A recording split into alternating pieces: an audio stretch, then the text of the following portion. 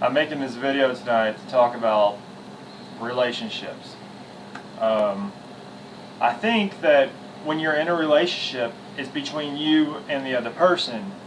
Not your mom, not your dad, not your sister, not your sister's best friend, not her mom, not her dad, not her best friends or anything, you know. It's between two people and they should all stay out of it, you know. You come home, you're having a good day, you walk in and then she walks up and she's like, where you been? And you're like, I just came home from work or whatever. And she's like, you were out screwing on me and cheating on me. And you're like, no, I'm not.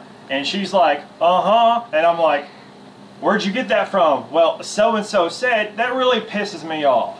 I wish people would keep their fucking mouth shut and stay out of two people's business, okay? If two people love each other and want to be together, it's what they want.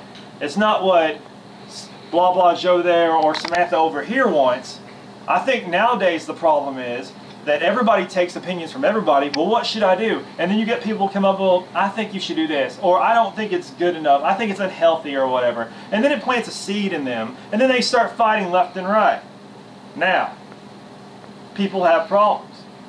I believe no matter how screwed up you are, and what stupid textbook says that you're not compatible for each other, that two people can work it out if they truly want to work it out.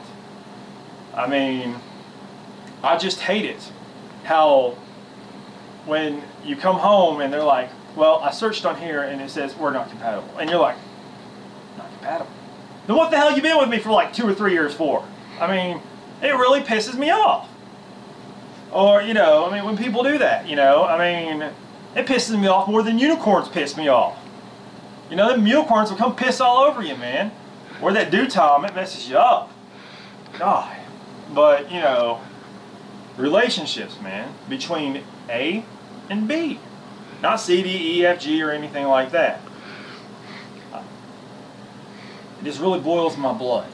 You know, that everybody sticks their nose, they start wagging their tails. Well, let's screw them up. Let's do that. Ha ha ha ha. Oh, I'm here for you. And then they go back, well, you know what he said. She's screwing around. He's screwing around. He said, she said, blah, blah, blah. And what does it do? It causes the two couples to fight, and then they split up.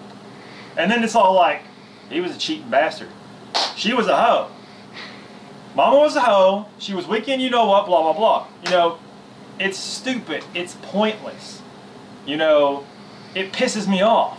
Because that's usually how every relationship ends, unless you're just mature and smart that the other person is going to call the other person hoe. It's the he said, she said, and we all play the victim. It was his fault. It was her fault. You know, it gets really, really annoying. You know, whose fault is it really? Was it his? Was it hers? Maybe. But if people would stay out of other people's business and not ca try to cause drama like Facebook, posting pictures up, making subliminal messages, doing this, and let the two people left alone, then maybe they would have a chance. I don't know what else. I'll end it with that because it won't make no sense. You're good to go. and by the way, for the record, while I'm on the subject, I would just like to say that the Philadelphia Eagles suck. Go Dallas. Super Bowl champions, man.